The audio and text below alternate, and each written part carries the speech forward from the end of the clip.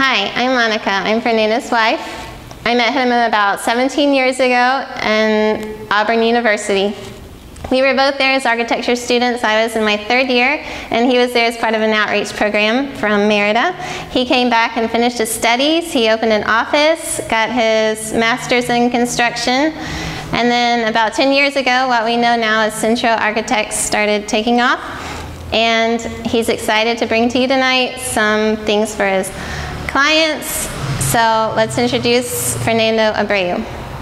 Hi everybody, thanks for uh, joining us in this video. Um, thank you Monica for the introduction. Uh, I would like to uh, give a big thanks to uh, Merida English Library for having us in their uh, series of um, talks that they do at the library. We are honored to be uh, doing this. We're doing this video for all the people that unfortunately couldn't be there uh, because um, the COVID, because we don't want those gatherings to be big. So we really hope that this video helps you in your house and, and, and to find something that is helpful for you. Um, we're going to talk about the main issues that we have seen in our eight years of experience working in Centro. We work and we specialize in houses in Centro. We actually don't work in, in, in most of our projects are just uh, there. So um, the problems keep repeating and we have new clients and we keep getting the same issues. So we're going to talk about those specific ones and try to give you a, a way to solve the problems and in some cases to give you um, information that might be helpful for your house. In Centro Architects, we have been working, as I said, in Centro, and we have three teams.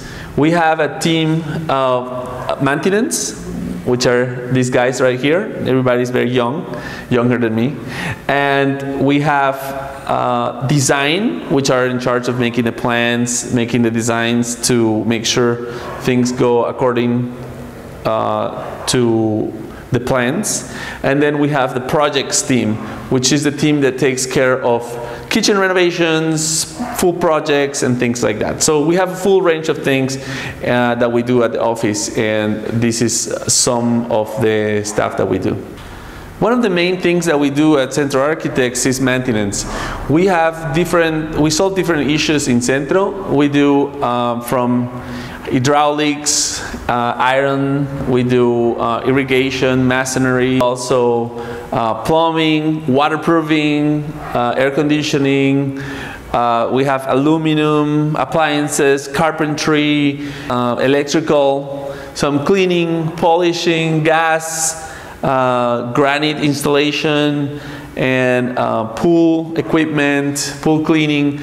All of this is part of the things that we do at Centro um, as maintenance and, and, and this is some of the issues that we're going to talk about. Also, at Centro Architects, we have the projects. We do small projects like kitchen renovations, bathroom renovations. Uh, people want to do some bedrooms, some things in their house. We do all that. We also do full projects. We try to keep it to one project a year. The idea is to take care of the details and don't overwhelm ourselves with many projects that we can take care of. And so we try to get one project a year and devote all of our knowledge and all of our attention to it. Well, I would like to start this presentation talking about uh, one of the main issues in Centro, uh, which is the electrical. Uh, in Centro, we have uh, many people coming in and many houses that are using more electricity than we used to use here. So we have more air conditioners, uh, we have pumps running for or uh, water for pools, and all of these electrical is being uh, increased in the last years. So it's getting the transformers that, or all the lines that are in Centro already passing their capacity. So they, they, it's very difficult to get a good electricity in Centro. You want to be here with a lot of um, appliances and things that might not work as, uh, as, you, as you like. So um, let me tell you about some of the issues that are the most common here. Most of the people call me when they have a power outage in their house. Uh, sometimes you get a partial uh, electrical. So sometimes you have electricity in half of your house and the other half doesn't have it. This is because uh, there is um, different things that might have happening uh, one of them is the connections on the post or on your house. The, the post, from the post you get cables, three cables that come into your house. Sometimes it's two, sometimes it's three, and sometimes even four. When you have the two cables coming into your house, one of them might be uh, misconnected or with the time, with the wind and uh, with some of the hurricanes we have here, they get disconnected and they don't plug well. And at some point they start failing. And the only way to, to deal with that is calling CFE. They have to come and reconnect. They reconnect the, the, the, uh, the cables and it makes it work back again. The other issue that you can have if you're having that type of problem is this type of base. Uh, this base is a normal base is that what most of the houses have, but they have uh, plastic connections here that melt when the electrical is too heavy. So we recommend to use the 7200 base, which is a bigger base, which is normally used for commercial purposes. But um, it's better to use this type because when you have a lot of electrical consumption, so if you have a lot of air conditioners, think about changing to these to make it more stable. Uh, another thing that most people don't know is that this type, the new type of meter, comes with a protection. So if you have too much electricity going in or too low, it will protect itself. And how do you know it's protected itself? Uh, it start clicking, it start making like a clicking noise, and a red light comes on right there. So when you have a power outage, the first thing you have to do is go to your neighbors, both neighbors because you can be in the limit. So go to the neighbor on the side, on the left and on the right, and check if they have electricity. If their meter is off or if they have that red light on, that means that they don't have electricity. So you're not the only one. So it's a bigger problem. If you see that you're the only one with the problem, then it could be one of the things that I told you before.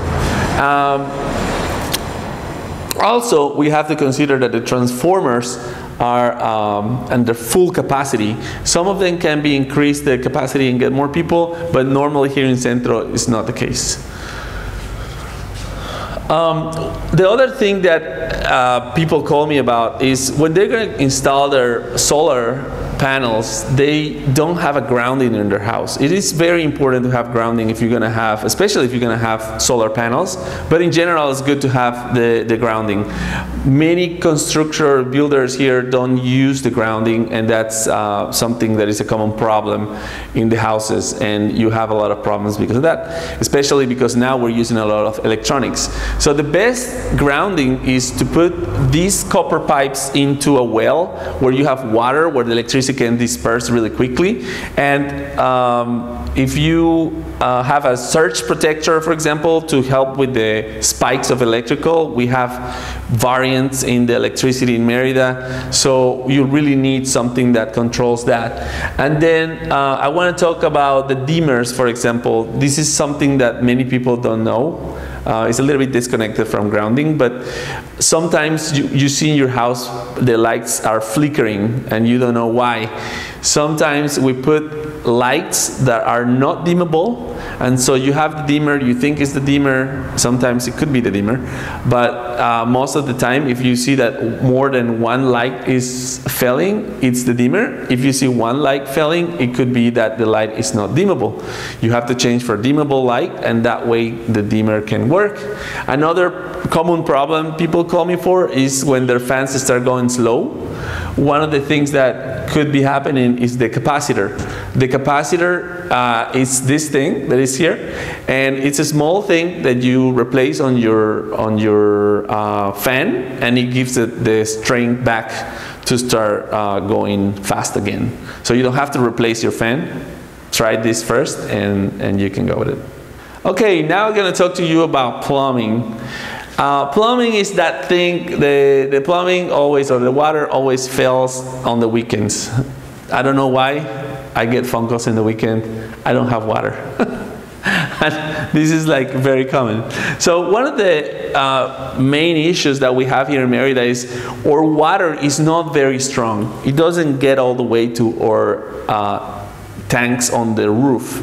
So we need to use sometimes illegally uh, pumps that will pump it up from the city to the, to the tank on the roof. What's the best solution? To have a cistern. Are you new in Merida? Are you building a new house?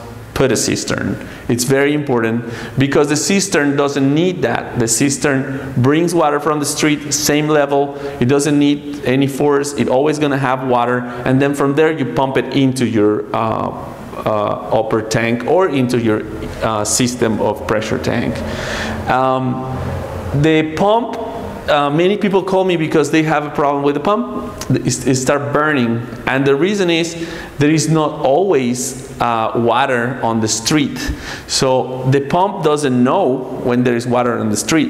The pump knows when when when you install these pumps normally you have an electrical float so when the water is low the electrical float tell the pump to bring water in but in the street they might not be water so you might start pulling air and that burns the pump. So uh, there is no solution for that. So put a cistern will be the solution. And this is the, the, the problems that I normally get phone calls for. And then we have the cistern and the tinaco. Many people don't know that they have to clean their tinacos, they have to clean their um, cistern. And sometimes they say, well, I have a water softener. Yes, but the water softener normally goes after the cistern and after the water tank. So you're not protected from being, uh, for cleaning uh, these you have to clean it uh, regularly, at least once a year, uh, to take all the uh, limestone that gets built on it. Um, it's important to put a float when you have a cistern and you have a pump that pumps water into a water tank. The pump can run when the cistern is empty. This is a possibility. Your cistern might be empty. You turn it on. I mean, it turns on because the there is water that is needed on the tank or is needed in the house and you start running the pump dry and that will burn it. So it's important to have a float that works the reverse as the one that I mentioned before. This float will, when it's empty, will turn off the pump. So when your cistern is empty, like this, um, the pump will go off and it will not work unless you have water. So it will only work if your water, your, your cistern is full. So this is a protection for the pump that pumps water into the tank. Uh, we have also emergency tinacos or emergency water tanks that help us putting water when you lose power, especially uh, people that have the pressure systems. Uh, if you have a pressure system, the, there is a chance that you lose power. And if you lose power, the pump won't run and you won't have water in your house. So that's why some people put uh, emergency water tank on the roof and it works only when you don't have power. There is a, a mechanism, like it's called check valve, that when the pressure is up, uh, is, is um, putting water or pressure into a uh, cover, let's call it like that. And then when the pressure goes, like it's released, this thing open and the gravity puts water into your house like a normal tank like most of the people have in Merida. But when you have a, a, a system that it's um, pressure tank, you probably need to think about having an emergency um, tinaco. Uh, then I want to talk a little bit about the pumps. Uh, the best pump always for a cistern is the submersible pump. The submersible pump has a lot of benefits. One of them is that it's working in the water, so it doesn't need a lot of string to pull the water up. And it is very likely that it doesn't fail much if it's a good brand. Um, and then uh, you can put it in your cistern. And when you're doing a cistern, you want to make sure that it's big enough to uh, have uh, the full length of these ones because they're pretty high and you need to have enough space for it. Sometimes I've seen houses where they have a small cistern and then you're not able to put uh, this type of pump and they need to work vertically. You can't have them horizontally or in an angle. You have to have them vertical. I've seen many houses where they put them in, on, on an angle and that's wrong. It doesn't uh, work uh, well like that and it will fail um, at some point. Okay, continuing with the plumbing issues, uh, I get a lot of phone calls sometimes about the pressure pump. The pressure pump should work in a way that um, when you open a faucet, you use some of the pressure of the tank and water start going out and after a while the pump kicks in. If you have a pump that is kicking in every time you open a faucet, that's not normal. And uh, the reason for that, uh, unless if you have a pump that is running for, let's say, it runs and then 15 minutes happen or 30 minutes happen and then start running again and you have nothing on, that could be a leak. But the main issue that people have is that um, the pump start running every time they open a faucet. So there is no timing between the pump running as it should be. This is the way a pressure tank, look, tank looks and you have air on this top part and water. This is like a section, a cut. So you have water here, air here. The water goes in with the pump. The pump puts water in the tank, make this grow and make the, the air here uh, compress and that air tries to get back and pushes the water into the house. When it gets the full amount of compressing, um, it comes back again, the pump turns on and boom, it fills it up and compress the air again and that's the way it goes. So if you have a problem that your pump is like repeatedly going on and on and on and on, sometimes what might have happened is that the membrane got broken and the whole thing gets full of water. And when you touch the tank, the tank, you can move it a little bit and you will see that the tank feels heavy. If it does look super heavy, it's because it's full of water and that shouldn't be. The other thing, the other way you can check it is on the valve of air that it's on the top, you can, with a key, press it a little bit and air should come out. If water comes out of there, then it means that this is broken and it has fill up everything with, with water. So that's one of the main things that fell with the pressure, the pressure tank.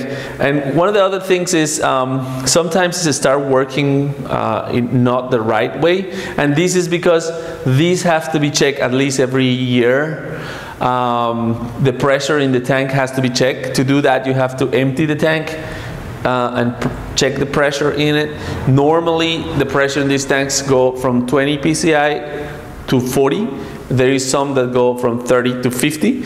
And the pressure in the, in the tank without the water should be two less than the starting one. So if you have 20, it will be 18. If you have 30, it will be 28. So that's the, the way you check it. And it should be checked um, at least once a year. And that way you make sure you have the right pressure and you, you have a system that is working properly. Um, the other thing um, is the water softener. The water softener, the main issue in the water softener is always the timing. Um, people say um, that uh, when, when they have the, the water softener working, they start feeling salty water on the system. Um, and this could happen like any time during the day. And if that happens, it means that your clock in the water softener has moved. How does this happen? When you have a power outage.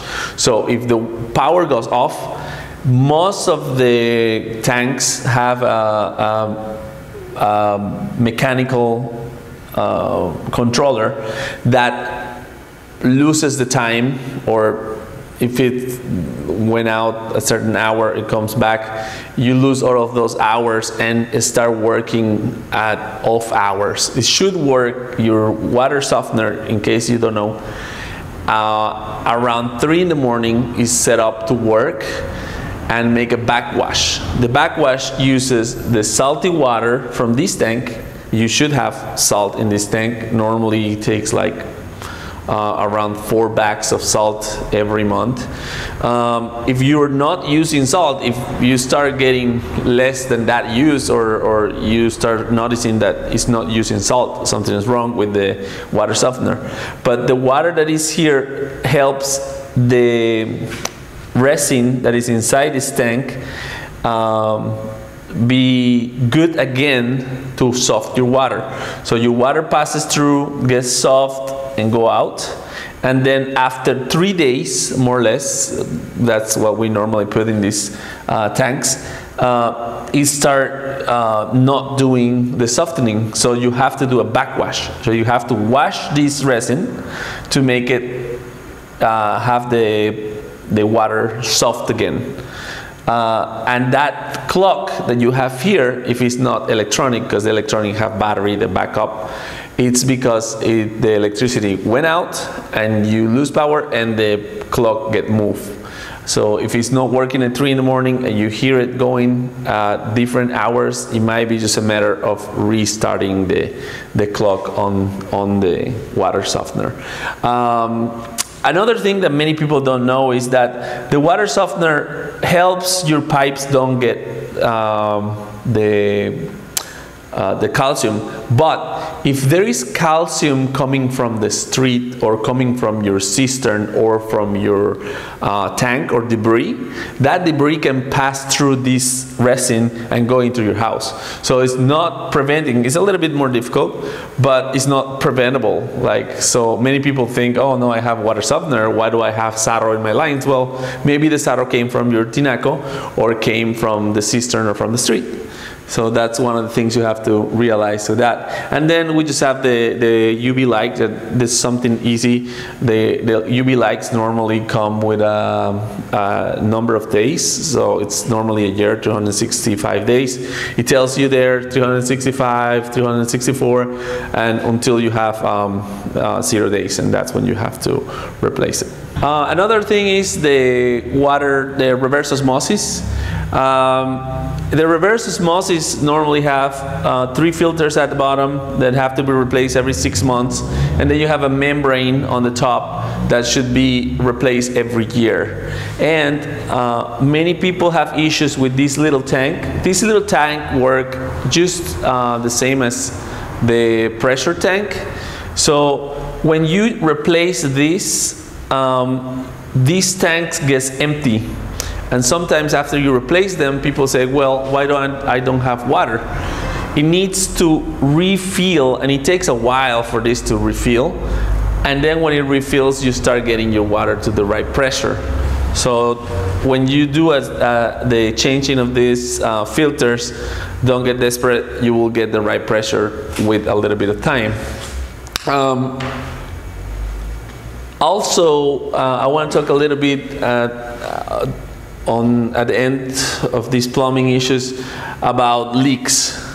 One of the first things when somebody call me and have a leak in their house, the first thing we check is the toilets. It's almost a, um, very very common that you get to a house and it's like you're checking for leaks in all the uh, places and the best place to look first is the toilet so this is the interior of a toilet and normally what happens is these uh, covers work in a way that when you pull uh, this, it goes up, put this up, and then with the sarro start building around this and then it doesn't close properly.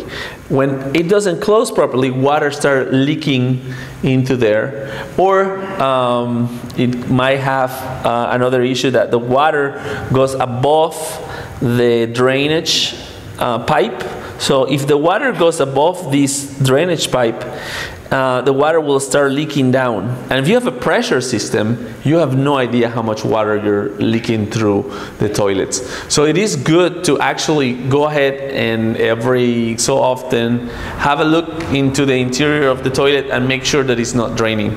This because the JAPAY uh, bills come every two months. So you won't be able to tell uh, that you have a leak after two months. So the first thing that you have to check is the, the toilet. If you can't find anything, the toilets are fine, the next thing to do is call JAPAY. They have a, uh, a special equipment. They come to your house, they find the leak, and they tell you almost exactly what it is.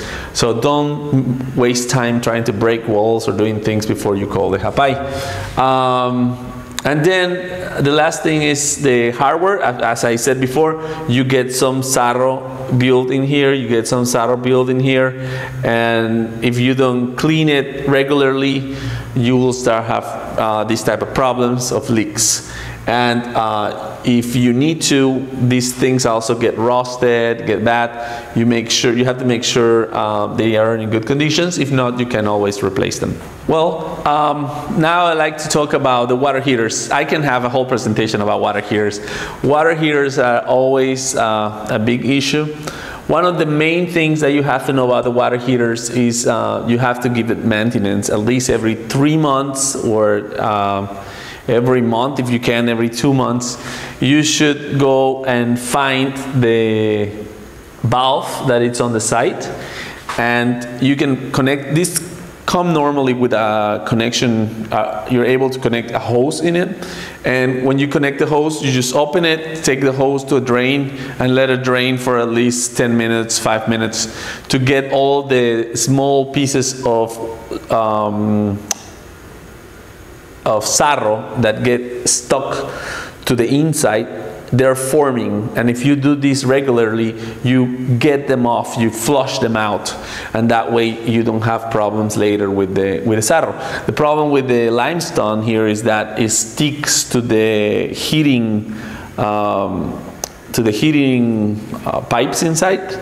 There is some uh, rest uh, the piping that gets really hot the limestone ten, tends to get stick to it and then it builds up builds up until the heating is not good anymore.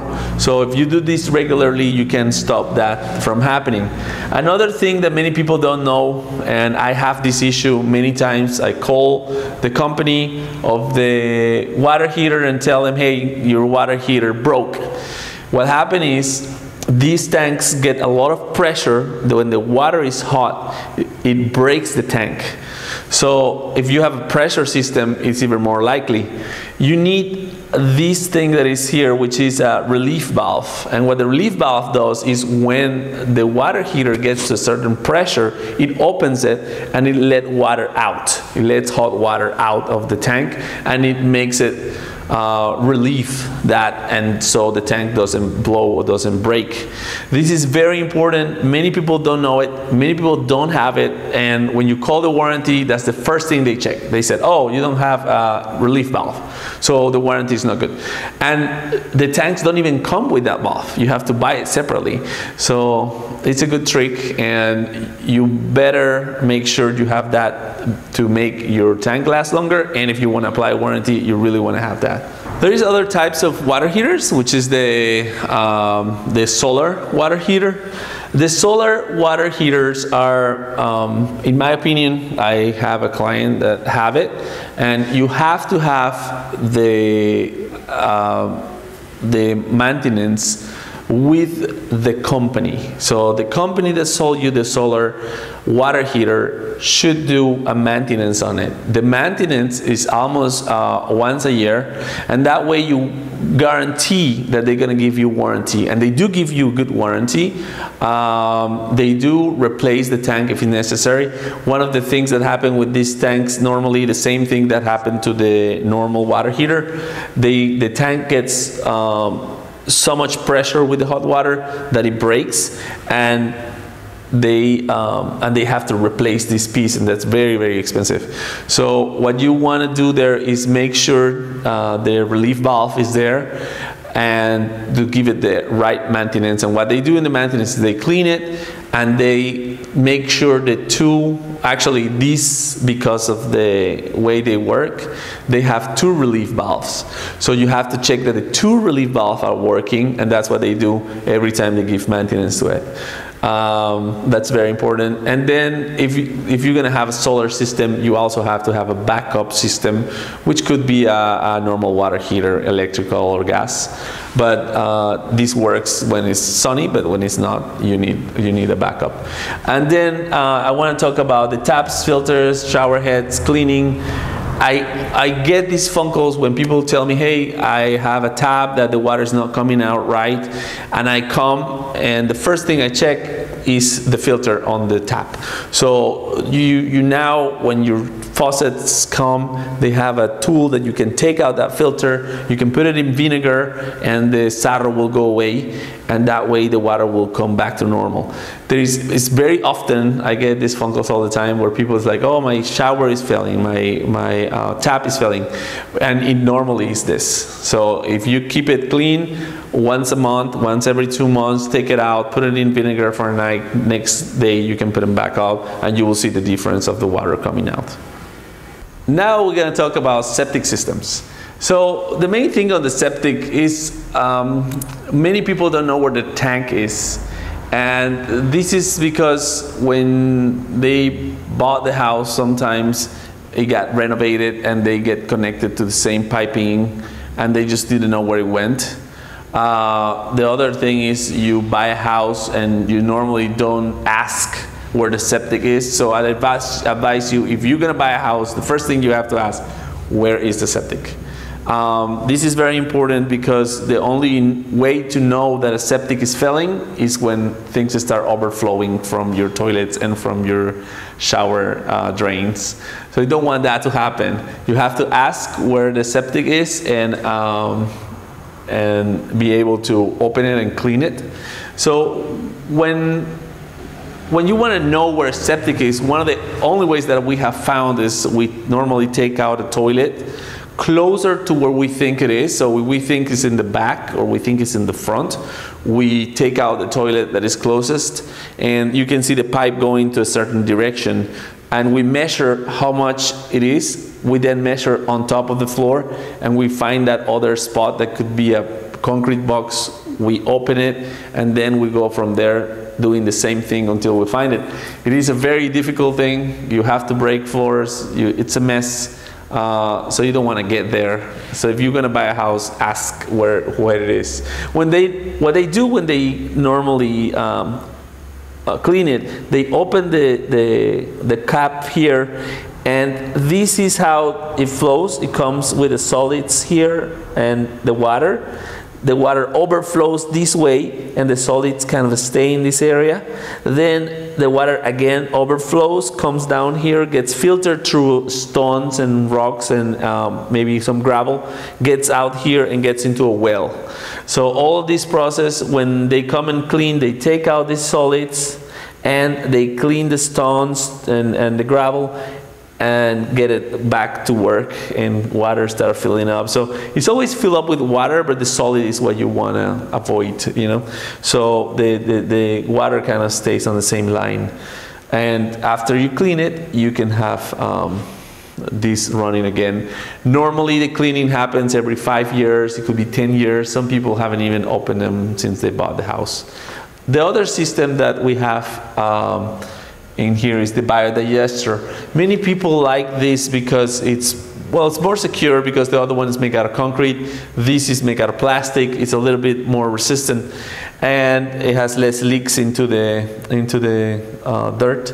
But the only problem with this system is if you read on the instructions of the main page of this uh, specific one, you have to clean it every year or every two years at least and that's something that is a little bit difficult. One of the problems that we found when we opened this to clean it is that if people drop um, toilet paper in here, uh, this pipe that runs in, in the middle goes all the way down and it's very close to this part here. So the paper starts getting stuck in here, gets hard if it doesn't have much water, and it makes like a clog that doesn't let water pass through and that start making a problem it start backing up the system and having all kind of issues um, it is more likely to have a problem with these biodigesters than it is to have a problem with septic my eyes say one is better than the other I don't know. I don't want to get into that discussion.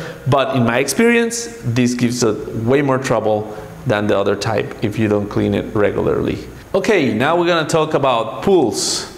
Um, the main thing in the pool, um, you have the system, in the system you have the pool pump uh, and the filter. Those are the main things. And in, when you talk about the, the, the pool pump, one of the things that uh, happen often is that people don't check this um, thing here, which is in the front. This is a trap for leaves and, and uh, hair. So it has a basket inside that you have to take out and clean. And I have been in houses where they're supposed to do the maintenance every week and people come clean the pool and they forget to do this uh, thing here. And if you forget, you start getting uh, less pressure going through here because this is full of leaves and full of debris. so the water start uh, getting slower and then you have problems. You can have problems with the pump. The other thing that many people don't know or have issues with is the filter. The filtration in, in, a, in a pool, the water technically has to pass like four times over the filter. I don't I'm not sure about the exact amount, but a lot of water passes through it. And it has a, a way where the water is coming through the pipe, comes in, passes through the filter, and then goes out. And one of the issues is with the time, the sand start going down and start compressing. So if it compressed, you don't have enough space in between the sand to filter really the pool. So what you have to do is do the backwash. And many people don't know this. Many of the people that clean pools have no idea about the backwash, what it is for, and the rains. And the, the thing you have to do is every, um, let's say 15 days, every month, you have to uh, move the valve that is on top, the, the yeah, the valve, uh, move it to backwash. And what it does is basically, instead of keep doing this, it goes backwards. So it gets water from here and brings up, and that moves the sand the other direction. So instead of compressing always the sand, it moves it, and that makes it um, get better again and has all this space in between rather than keep compressing compressing compressing into into it becomes a rock and it's um, too hard to really do something and the other thing that you have to consider when you're doing a pool uh, is the wells you need a well for dumping that normally is 12 meters and a well for extracting water that is normally 18 meters. How can you measure this? You put a line with something heavy on the bottom, you let it go down right after they make the well. They make it with this type of machines. And you can measure then the string and see if it really has this amount of, of um, meters because that will guarantee that the water um, either gets dumped or you get good water, good quality water for your pool. Another thing you have to consider when you're doing a pool, um, and many people call about these issues, what finish should I put in a pool? Uh, when you have a painted pool, uh, it's very common that the painting has to be redone every so often, every two years, every three years. Some people have um, good let's say, good ground around it or it gets built correctly and you don't have that much moisture coming from the ground into the pool that's the main issue with you paint when you paint some of the humidity comes out of the wall and so it comes behind this paint and it, it makes a bubble there is a lot of different reasons why the paint will bubble But here in the Yucatan, one of the ones that I have seen the most is the same that happened to our mamposteria walls in an old building house. The paint comes off. The same thing happened to the paint inside a pool. You get all this humidity coming from the back and make a blister or getting bubbles. So many people goes with the chukum and I just want to mention that the chukum it's it doesn't have any crazy properties like people believe the chukum is just cement uh, that has the chukum, which is a bark from a tree. They put it in water, cook it, and that gives you a, a water that is brown, and that water is the one that you use to mix your, your cement. So if you're using cement or you're using chukum, it's the exact same thing. The chukum, it's a beige color, and when you do a coloring cement, like a yellow cement or something different, it is not chukum. It is a color painted cement. And you can do your pool in gray cement, you can do it in yellow, you can do it blue, you can use any color you want. Uh, but it's not chukum. Chukum is a certain and a specific uh, technique and it doesn't give it any properties. It's the same as using gray cement, white cement, or any other um, um, as cement, cement finish. Okay, another thing in the pools uh, are the lighting. Some people, um, uh, uh, on, in the past, when you put a light, the, it was halogen, the lights have to go in a niche, and this niche have to get water, so the, the light can get um, cooled down. That was the system that cooled down the, the light. Nowadays, we're using LED lights, and the LED lights could be in a, in a niche, could be over mounted on the wall. In either case, you don't have to, it doesn't matter if your pool is empty and you turn them on. If they're LED, they don't gonna burn. Before, because this mechanism of the water flowing behind uh, the halogen make the light don't, um, don't burn. If you have your pool empty, you turn it on and the, and the light will burn. It's not the case anymore. If you have an LED light and you turn it on and your pool is empty, don't worry, it's not gonna burn. Um, it works completely different.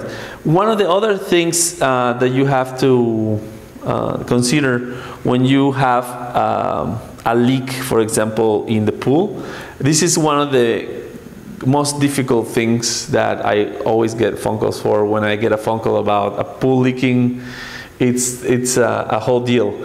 But the first thing I always check, the first thing you want to check is the light. Why the light? And this is how, why. You have a pipe going by, uh, on the pipe.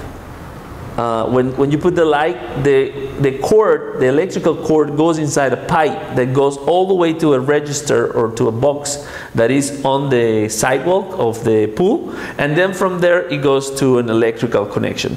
So that connection, this pipe here actually gets filled with water and that's normal. But many people connect it with plastic pipes, with electrical pipes, or anything like that that is not prepared. So at some point they broke, they, they break in the connections, and water start leaking. So if you have a leak on your pool and it's anywhere from the light up, so if you have it normally this pipe comes out in the middle. So if you have it from the middle of the lamp up, this the light is a possibility. If you have it from the light down, the light is not a possibility. So in my experience, most of the time that we have a leak in a pool is the light. Uh, like 90%. And then the rest of it could be uh, cracks on your pool, but those are very visible. You can see a crack very easily in a pool when it's broken. And then the other way is having um, problems on the, on the pipes. That will be the worst case scenario because all these pipes are under concrete normally. And then the other part that is very common is on the filter, um, you have a valve on top. And that valve when you move it into waste, which is draining the pool, you move it into waste, uh, the, with the time it can fail. And if that fails, sometimes it gets um, a little leak into that drainage. And so when you're filtering uh, the pool, some water starts escaping that way. And there is a way to, to check that. Um, you can open the, the drain line, and when you have the filter going, the line start spilling water, and that shouldn't be. If you have it in filter, it, the drain shouldn't be working, or water shouldn't be passing through that pipe. So that's the way to, to check it. And these are the main uh, places where you can find a leak in a pool. Okay, we're going to talk now about air conditioners.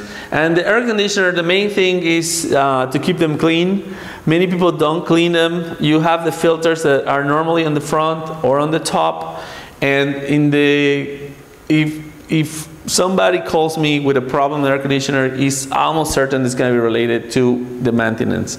You have to do a maintenance at least once a year, and if you use the air conditioner every night, you probably have to do it every six to eight months. It's very important to keep it clean because um, if you don't clean it, you start having problems like leak leaking of the unit. If it start leaking on, on the vents, it's one type of problem that might be related to not cleaning this. And of course, it gets, the air gets stuck in the, the dust that we have here in Merida. In every house uh, gets filthy here and you're breathing all that and you're breathing uh, all kind of things. And then the other problem is that it starts leaking on this side of the unit. This is the unit and normally on the drain side you have some leaking going on. That leaking happens uh, when it happens just when it's raining, well the problem is on the roof. The unit comes down and water comes into here. If it's not when it's raining and it's just, uh, it's like constant, that might be another problem sometimes when they do a maintenance, they take out a pipe that goes into the wall, and that pipe uh, sometimes get bended and doesn't go into the right drain, so start draining, and it drains a lot of water. And another thing that's very common when they come in for this problem is that they drain it into um, a place that is not correct, and it gets or it gets filthy with stuff, and it start getting. Uh, clogs in the line and that makes it back up.